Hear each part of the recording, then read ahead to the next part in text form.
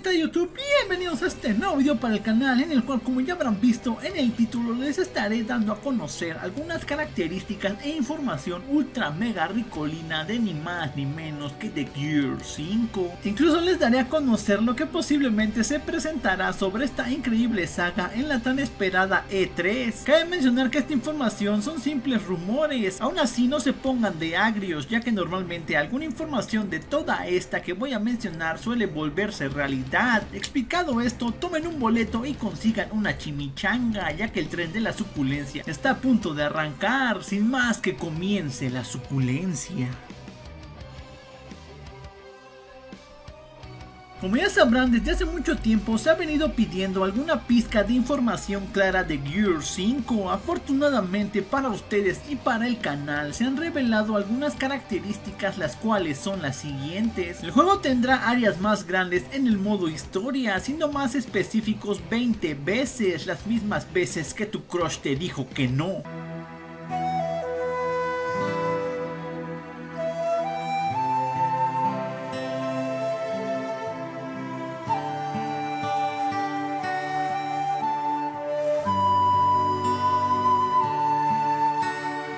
En mi opinión esto será muy similar a los mapas y ambientación que observamos en God of War 4. Por otro lado el juego será más colorido y diverso, contendrá un nuevo modo de juego en Horda llamado Escape, posiblemente este modo de juego conste de evacuar a los Outsiders de un asentamiento mientras los defiendes tanto de los Swarm como de los Divis infectados. Por otro lado esta entrega poseerá nuevas variantes y modos de juego en el multijugador, de igual manera en Gear 5 la personalización será más extensa y profunda. Claramente esto significa que existirán distintas maneras de personalizar a nuestro personaje de pieza a cabeza, ya sea desde sus accesorios hasta su vestimenta. Muy aparte de esto y como ya lo había yo mencionado, también se dio a conocer el contenido que posiblemente se revelará en la E3, claramente basado en Gear 5. En primer lugar tendremos por fin un gameplay de Gear 5, incluyendo su tan esperada fecha de lanzamiento. De igual manera nos revelarán un gameplay más extenso de Gears Tactics, claro con su respectiva fecha de lanzamiento. Dejando esto de lado, se rumora que Gears Pop será lanzado antes del E3, esto debido a que el juego se encuentra en una etapa final de pruebas. Si gustan ver un gameplay astralmente ricolino, pueden checarlo al final de este video o buscarlo en el canal, esto para que se ilustren un poco de cómo no jugar Gears Pop. Bueno, la verdad es que no, porque yo soy bien vergas.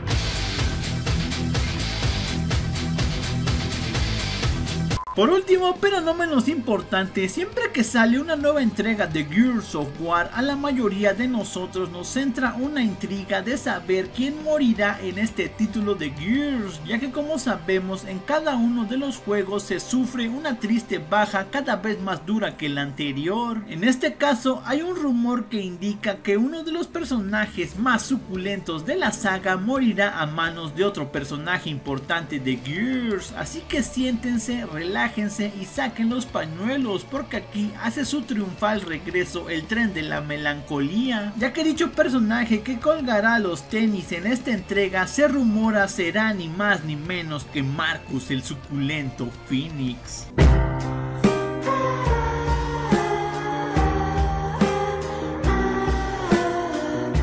Tristemente de ser cierto este rumor, Gear 5 será la última entrega donde podemos ver y disfrutar a Marcus Phoenix en el modo campaña. De una manera u de otra esto puede ser cierto ya que si mal no recordamos esta nueva entrega será basada en Kate y su relación con los Locust, quitándole un poco de protagonismo a Marcus. Por otro lado esto me lleva a pensar que posiblemente el personaje que mate a Marcus sea alguno de sus amigos o familiares, pero no seré nada específico ya que este tema lo dejaré para otro video. Al fin y al cabo no se sabe aún qué pasará en este futuro juego, por lo que me gustaría saber qué piensan ustedes, ¿se volverá real este rumor o simplemente se quedará como eso, un simple rumor? Ahora sí mis suculentos, espero que el video les haya gustado y lo hayan disfrutado, si así fue ya saben que me pueden apoyar compartiendo el video con toda la banda gamer amante de Gears of War. Recuerden darle un poco de amor al canal suscribiéndose, en el caso de que ya lo estén activen las notificaciones notificaciones del canal por medio de la campanita. Esto para no perderse ningún contenido. No olviden dejar sus likes y sus comentarios. Por cierto, visiten mi canal secundario, ahí estaré subiendo distinto contenido. De igual manera me harían un gran favor apoyándome como creador de contenido en Fortnite, simplemente ingresando mi nombre, el cual es de Dad YouTube. Esto es la opción de apoyar a un creador. Sin más que mencionar, yo aquí me despido. Les mando besos, abrazos, arrimones y apapachos. Cuídense y que estén como siempre extremadamente de rechupete.